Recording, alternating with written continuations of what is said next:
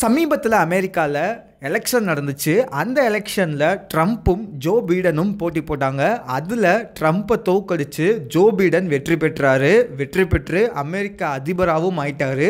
அது மட்டும் இல்லாமல் துணை அதிபராக கமலா ஹாரிசனும் தேர்ந்தெடுக்கப்பட்டிருக்காங்க. ஸோ கமலா ஹாரிசன் மன்னார்குடியை பூர்வீகமாக கொண்டவங்க. இந்த நிலையில் மன்னார்குடி மக்கள் எல்லாருமே கமலா ஜெயிச்சதுக்கு வெடி போட்டு கொண்டாடினாங்க. ஸோ பலரும் அவங்களுடைய வாழ்த்துக்களை தெரிவிச்சாங்க. இந்திய பிரதமர் மோடியும் ஜோ பைடனுக்கு வாழ்த்துக்களை தெரிவிச்சிருந்தாரு. ஸோ இப்போ ஆர்ஜே பாலாஜி அவருடைய ஸ்டைலில் ஒரு வாழ்த்துக்களை தெரிவிச்சிருக்காரு. ஸோ அவருடைய ட்விட்டர் பக்கத்தில் என்ன போட்டிருக்காருன்னா அமெரிக்கா கொடி பறக்குது. அந்த கொடியில் நயன்தாரா அம்மனா காட்சி அளிச்சு ஒரு அருளாசி கொடுக்குறாங்க.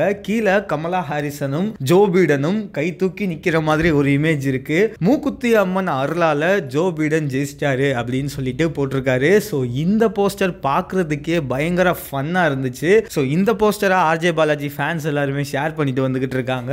முக்கியமா மூக்குத்தி அம்மன் படம் வந்து தீபாவளிக்கு ஓடிடி தளமான ஹாட் ஸ்டார்ல ரிலீஸ் ஆக போகுது. ஸோ அந்த படத்துக்கான ப்ரொமோஷன்ல பாலாஜி முழுக்க முழுக்க இறங்கியிருக்காரு. ஸோ இந்த நிலையில இப்போ இந்த போஸ்டரை போட்டவொடனே ஃபேன்ஸ் எல்லாருமே பார்த்து பயங்கரமா சிரிக்கிறாங்க. ஸோ ஃபன் பண்ணுறாங்க இந்த போஸ்டரை வச்சு. ஸோ இந்த போஸ்டரும் பயங்கர வைரலாக பரவிட்டு வந்துகிட்டு இருக்கு. இது குறித்த உங்களுடைய கருத்துக்களை கமெண்ட்டில் சொல்லுங்கள் மேலும் சினிமா பற்றின அப்டேட்டுக்கு தமிழ் படத்தை சப்ஸ்கிரைப் பண்ணுங்க.